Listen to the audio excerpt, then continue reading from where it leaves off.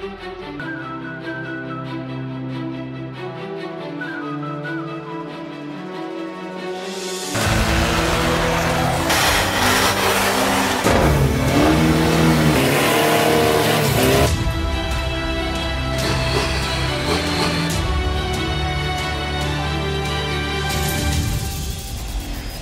ที่แล้วผมรู้สึกว่ารุ่นมูเบอร์ลีน ผมน่าจะวิ่งไว้ 11 4 หรือ 11 5 ผมจำไม่ได้แล้วครับ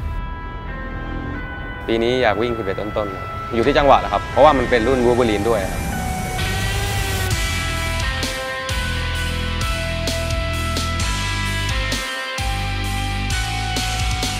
นะครับผมเบิร์ดเม่งโปรกาลาดครับ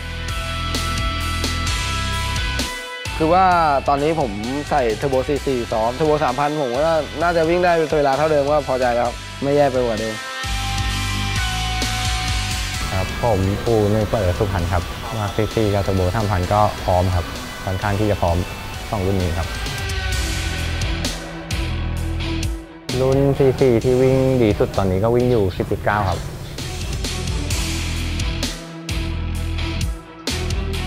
รถแต่ละคันเร็วๆกันทั้งนั้นนะทุกคนก็ทำรถเต็มที่ ผมก็ทำให้เต็มที่ของผม ผมก็ทำให้ดีที่สุดนะครับ แต่ละอูก็แรงๆกันทั้งนั้นนะครับ เดี๋ยวนี้ก็วิ่งกันเทียบเท่ากันไม่นี่กันเท่าไหร่ละครับ อยู่ที่ยังหวะดวงด้วยครับ ก็ไปวัดกันในในสนามวิธีครับ เวทใกล้ๆเคียงกันหมดพี่ เพราะตอนหลังรุ่นปาก44รุ่นอะไรมันจะเป็นแดกเรเดียนซะส่วนใหญ่ ปีนี้อาจจะเป็นผมก็ได้ครับที่ขึ้นมาอยู่ที่หนึ่ง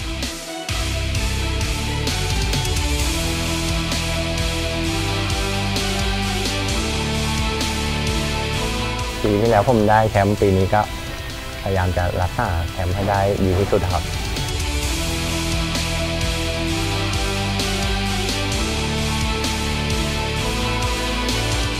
ก็ฝากติดตามเลยนะครับ แล้วเจอกันครับ ก็ฝากติดตามชมและก็เชียร์ผมในงาน Lenso Raiden Diesel War เจอกับผมโอ๊ตถึงขวัญแน่นอนครับ รับรองมีทีเด็ดโชว์ในเกือบทุกๆรุ่นครับ ฝากติดตามผมหนุ่ยเปิดทุกพันในงาน Lenso Raiden Diesel War 2017 ครับ งานนี้ผมไปแน่นอนครับหนุ่ยเปิดทุกพันครับ